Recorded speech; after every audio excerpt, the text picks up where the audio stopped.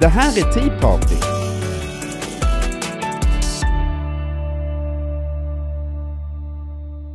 Ja men hallå god vänner, det är måndag, det här är Tea Party, programmet för oss som älskar att snacka om, titta på och framförallt spela golf. Allt det där kan ni. Det är sportlov, inga gäster här. Jag vet inte hur det har gått för jag spelar in här under helgen. Eh, det brukar vara väldigt svårt sportlovet, men lyckligtvis så har ju även tourerna bestämt sig för sportlov med ett lite svagare schema nu två veckor. Så det passade väl ganska bra tycker jag då. Eh, så jag vet inte hur det har gått när ni tittar på det här denna måndag morgon. Däremot så vet jag vad vi kan se fram emot veckan som kommer. Och det finns en tävling som jag tycker ganska mycket om och det är Cognizant Classic in the Palm Beaches. Vad är det för tävling tänker ni? Jo, det är ju faktiskt klassiska, klassiska Honda Classic som nu fått en ny titelsponsor. Och, eh, så det är samma bana, den tuffa, tuffa banan som eh, oftast eh, ger vinnarskår på åtminstone nästan minus, under minus 10. Eh, så det brukar vara kul. Det är första gången vi får prov på att spelarna verkligen, verkligen får anstränga sig. Så kul tävling på PGA-touren sportlovshelgen som kommer, sista sportlovshelgen här i Stockholm då. Det är ju sportlov vecka 9 här, vecka 8, så det där har jag koll på. Men jag bara säger anledningen till att vi inte kan spela in programmet här just nu. Eh, I, på LPGA, eh, man är mitt i Asiensvingen, det är tävlingen i Singapore, Jin Young Ko, försvarande mästare.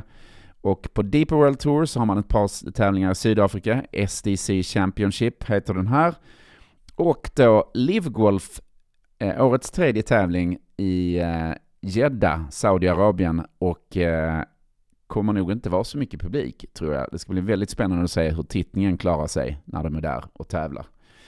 Um, när det då gäller PGA-touren så har vi ju Tea Party Fantasy. Jag hade ett litet avsnitt i torsdags där jag berättade om eh, ehm, ställningen. Jag vet ju inte hur det står nu efter Mexico Open, men se till att vara med för att det är nämligen så här att vi har då Cognizant eh, på Palm Beach-tävlingen. Vi har Bay Hill-tävlingen där jag gissar att Ludde ska spela som proffs. Han var ju med som amatör förra gången.